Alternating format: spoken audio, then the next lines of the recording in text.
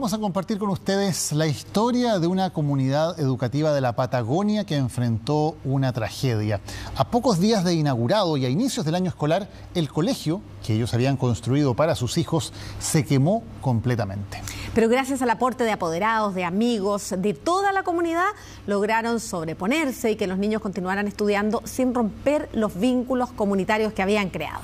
La periodista Daniela Piedratini junto al camarógrafo Juan Carlos Rojas viajaron a Coyhaique y nos cuentan esta historia.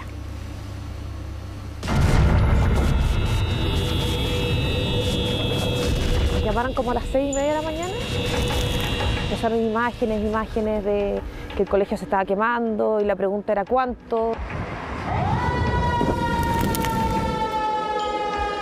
Se veían llamas, llamas y las personas que empezaron a llegar empezaron a decir no, esto es mucho, es mucho, es todo el colegio, es todo el colegio.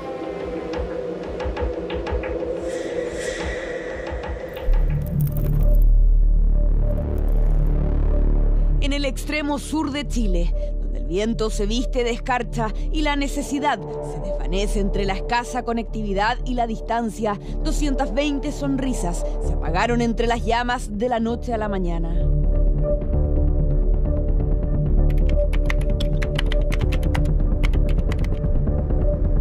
Completamente destruido por efecto de las llamas, resultó la mañana de este miércoles el Colegio Patagonia de Coyhaique.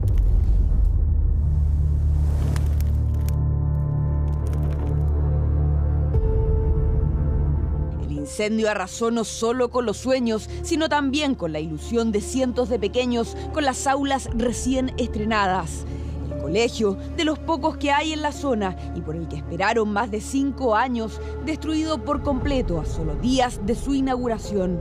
El inicio del año escolar abruptamente para ellos se derrumbó.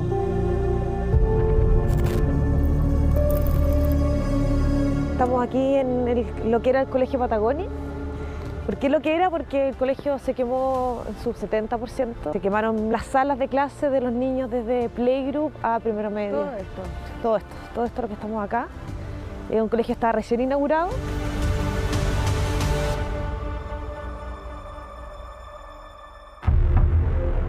Y de repente en un chispazo sin paz se quemó todo.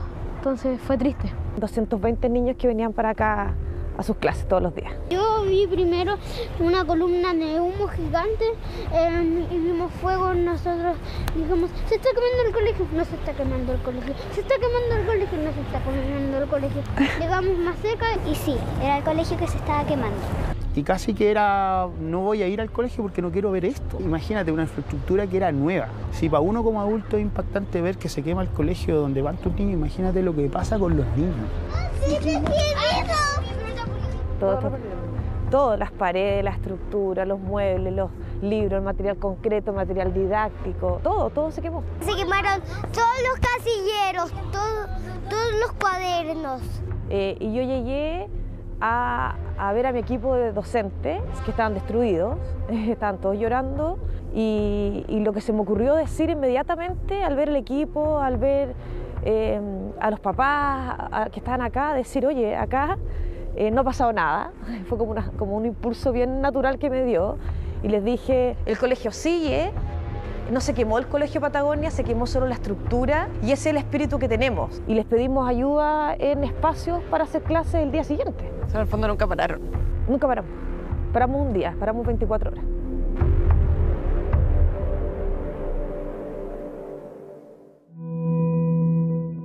Es que entre los rincones más apartados de nuestro país no hay tiempo que perder, con la necesidad por delante y la determinación de toda una comunidad que se ha convertido en el pilar de un sueño en común, devolver a esos niños la esperanza, el espacio y el acceso a una educación que por tantos años esperaron. Mira, nosotros el colegio se quemó el 13 y ese mismo día en la tarde nos llenamos de correos que nos empezaron a decir eh, cuenten con nuestras instalaciones, lo que necesiten. Y esos días partimos así.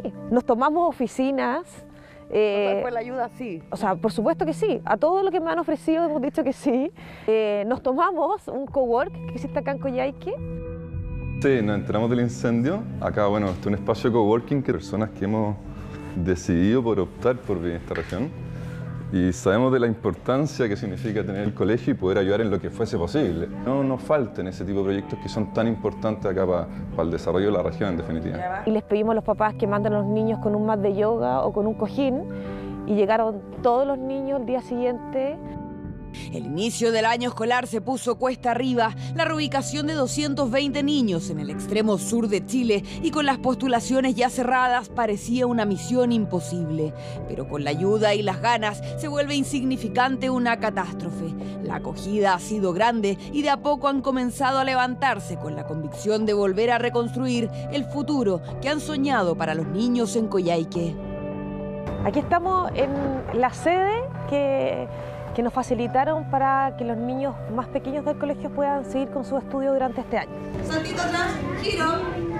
Eso. Están repartidos en distintas... Claro que tenemos los más chiquititos acá. ¿Cómo se graba la cámara?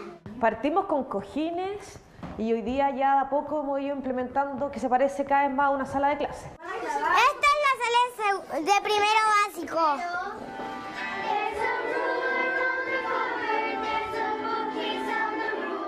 Esto no, no está. No, nada, todo, esto, incluso nosotros acá botamos una pared para que esta sala quede un poco más amplia. Todos estos espacios los han ido, los han ido armando los, los apoderados. ¿Sabían que todos los casilleros, los percheros, los zapateros, las mesas, todo lo hizo mi papá?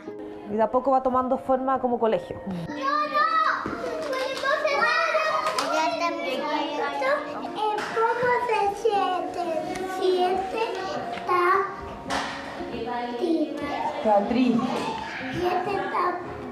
Asustado. Y hace como si tocara tambor. ¿Cómo se Eh, llama? Es que tambor. Tambor. ¿Y qué le pasó? Se le quemó las patitas. ¿Cómo han visto a los niños? ¿Cómo ha sido ese proceso? Hubo un momento como de euforia, de ir y darle con todo y con ganas, pero ese también llega un bajón de repente de decir, chuta, estamos en este espacio, que no es lo más acogedor, no es lo más lindo, no es lo más calentito. Estaba fuerte la señora porque hacía mucho frío siempre. Había una estufa y el enchufe. Que los especialistas saben más que yo de que es un duelo que dura meses. He tenido momentos en que los niños, hoy día que ya estamos en lugares definitivos, eh, empiezan las penas. Acá podemos jugar al piso eslava. Fue como yo creo que volver a lo que era la educación antigua y partir desde cero, o sea, lugares, acomodarnos, no teníamos escritorios, mesa, nada. Yo creo que si no es por la ayuda de, de la comunidad entera, eh, hubiera costado esto. Pero el camino es largo, la incertidumbre abruma y el frío del invierno asoma. 220 niños que perdieron su nuevo colegio por las llamas que aún no tienen explicación. Y mientras esperan las causas que provocaron esta catástrofe, no encuentran más remedio que aferrarse a los escombros que un día fueron soporte de una ilusión. La distancia y la escasa conectividad reclaman ayuda y desafían la misión de volver a levantar lo que tanto costó. ¿Cuál es el camino? ¿Cuál es...? O sea, se viene la reconstrucción. Nosotros queremos volver a parar las paredes y volver a traer a nuestros niños para acá. Eh, estamos muy orgullosos de lo que ha ocurrido después de esta catástrofe. Como santiaguina me sorprende la resiliencia del Patagón con las ganas de, de, levantar así como este proyecto nuevamente. Todo el mundo sabe lo difícil que es levantar un colegio, sobre todo en regiones, ¿ya? Eh, todas las limitaciones que tiene, todo lo, lo, lo difícil del acceso que tenemos a, a, a, materiales, a recursos, a capacitaciones. Tenemos la particularidad de que esto, esta región es como, es como una isla. Uno necesita mucho más recursos de lo que necesitarías en, en lugares con muchas mejores conexiones. Toda la ayuda sirve, por supuesto. Eh, hay colegios que me han ofrecido mobiliario, eh, hay colegios que me han ofrecido libros, porque muchos libros de repente quedan arrumados. O sea, de verdad que hay un espíritu de generosidad que ha sido muy emocionante, muy lindo de, de recibir. Y todo sirve realmente. Y todo sirve. Fueron los niños finalmente los que inspiraron eh, el trabajo y, y, y cómo finalmente los adultos, los padres, incluso los profesores, hemos ido observando que, que ellos nos han demostrado que el colegio no lo hacen las estructuras, sino que las personas. Y es muy bonito e inspirador. Yo creo que, que esta, estas situaciones generan eh, momentos muy duros, pero surgen cosas muy lindas que son las que nosotros queremos rescatar. Ahora, la idea es como durante este año para el colegio. Por supuesto. Que... Nosotros, nosotros lo que tenemos visualizado es poder inaugurar en marzo del 2025 el Colegio Patagonia entero de nuevo, con los ajustes que haya que hacer y poder recibir a todos nuestros niños el próximo año acá y poder conmemorar el 13 de marzo del próximo año eh, el, hecho del- del incendio que vivimos, pero estando todo acá nuevamente.